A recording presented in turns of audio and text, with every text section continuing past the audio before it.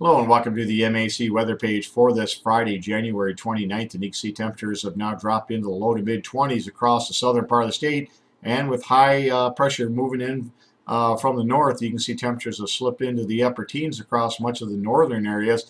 And again, this is going to be the key, I think, to our forecast uh, as we get into Tuesday's storm as well. We'll have a couple of clipper systems move by, and that's going to warm us up into the weekend to around 40, maybe even the low 40s.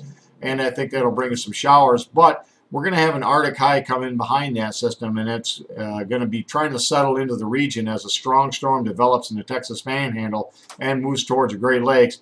And again, how strong that high is is going to determine who gets the heavy snow, who gets a band of uh, very heavy freezing rain, and who gets rain, maybe even thunderstorms. And again, right now, the way it looks, the battle zone is across much of mid-Michigan. Again, we could have a in this area we could have anywhere some rain across the southern areas to very heavy snow to the north, and we'll show you some of the uh, snowfall maps. But again, this could change quite a bit. And until we get into Sunday, I think is before we'll have a really good handle on it. But this area here needs to really watch later forecasts. I think primarily snow as you get into northern lower Michigan.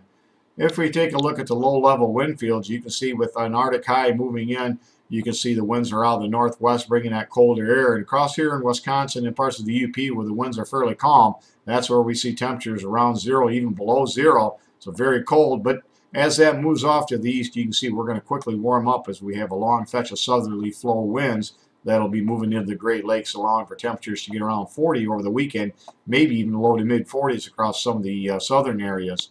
If we take a look at the uh, Great Lakes region in general, you can see uh, 20s to the south, teens to the north, single digits, and you can see down to 5 below zero back in Wisconsin, 4 below zero at Iron Mountain, minus 2 at uh, Sault Ste. Marie. So very cold temperatures off to the northland. And if we look at the uh, forecast map for later today, that low pressure system off to the east, the cold fronts uh, moved well to the east. And again, maybe just a few light scattered lake effect snow showers, no, no, big deal. Our next clipper system, along with a wave out to the west, is going to bring us some rain showers again over the weekend. Maybe a mix of some freezing drizzle or snow at night. But again, this should not add up to a whole lot. And as we get into uh, Sunday morning, you can see the energy now beginning to come into the uh, southwestern states and again, that's going to develop into quite a storm. It's going to rapidly intensify as it moves off to the northeast. And again, the big question is where that track of the storm will be will determine who gets the heavy snow, freezing rain, or rain. And you can see as far as some of the precipitation amounts from some of the different uh, models, you can see the GFS has a big area of around two inches of rain across much of the northern half of the lower peninsula with around a half inch to an inch and a quarter across much of the uh, southeastern part of the state. And again, if we go to the uh, next model, you can see, look at the sharp cutoff between very heavy snow and uh, very little snow, probably a, a, band in here, about a 30, 40 mile wide band where we could see some very significant freezing rain. But you can see here in Saginaw County, in the southeast part of the county, about an inch of snow with 11 inches of snow as you get into the northwest part of the county. So again, this line certainly isn't going to be in this exact spot, but it shows you the pretty sharp cutoff between very heavy snow and an ice storm and then rain off to the south.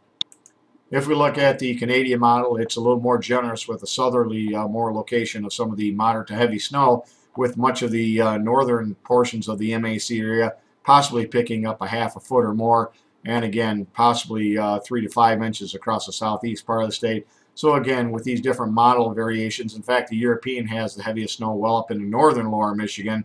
So again we're going to have to wait and see uh, as these models come together where that storm will actually track. And then you can see as far as the uh, WPC, you can see much of the uh, lower peninsula, well over an inch of uh, liquid uh, equivalent precipitation, and heavier amounts around a half or an inch and a half possible up into southeast lower Michigan. And again, some of the areas from uh, in, in the Ohio Valley could see some strong to severe storms out of this system too. So we're going to have the full gamut anywhere from a blizzard to possibly tornadoes on the southeast flank of this storm. Thanks for stopping by and have a great day, a great weekend, and 73s to all.